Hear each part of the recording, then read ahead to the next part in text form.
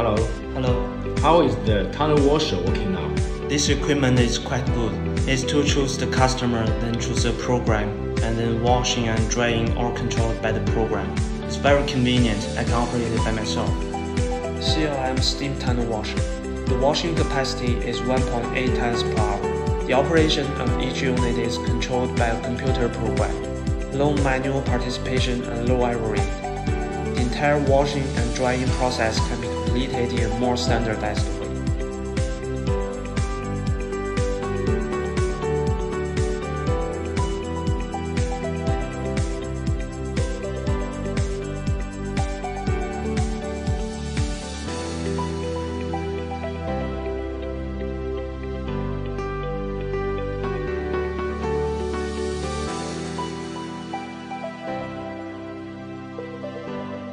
Hello.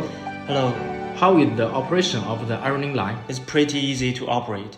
We just need to find the edges of the bedsheets and duvet covers, and it's very responsive and fast. We just need to hang the bedsheets and duvet cover, and then we just need to pack them at the end. CLM 800 series 6 roller ironing line. 4 station spreading feeder can accommodate 4 operators working at the same time. Ironing and folding of bed sheets and duvet covers can be realized. Production line work.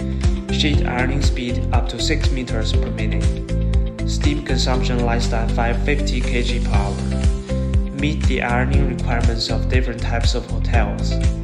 If you want to know more about the product information, please feel free to leave a comment.